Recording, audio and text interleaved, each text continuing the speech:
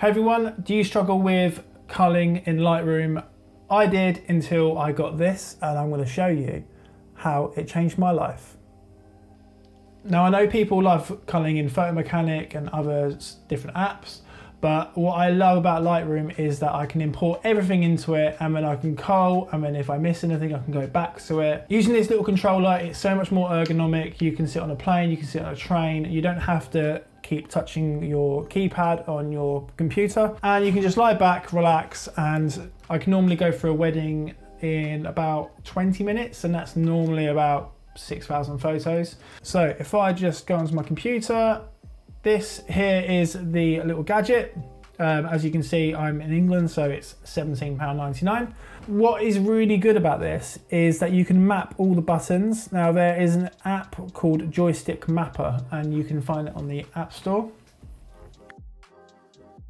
So what you do, you edit presets. So normally I use, I go right and left, glide through the gallery and I use P and U. So P is pick, uh, which is basically flag in Lightroom, and U is unflag, so don't want that.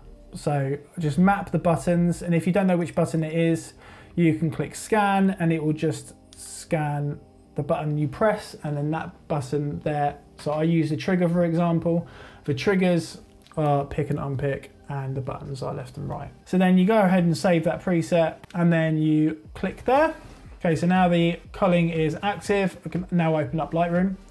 I like culling in Lightroom um, in the library mode.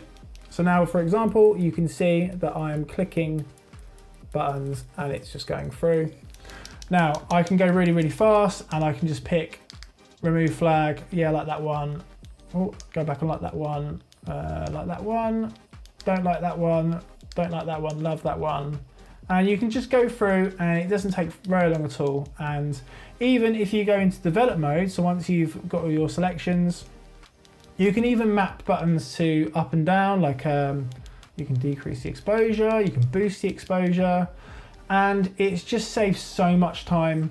Um, it's just saves so much time. Um, I can't really big it up enough. I will leave a link below for the Bluetooth controller. Um, I do believe with joystick mapper um, you can actually use like Xbox controllers and things like that. Um, but I'll also leave a link for that in the description below. Just bigging this up so much, um, yeah, it's changed my life. Just quickly, if you've ever struggled with white balance while editing files in Lightroom, please check out this video. It will be really worth your time.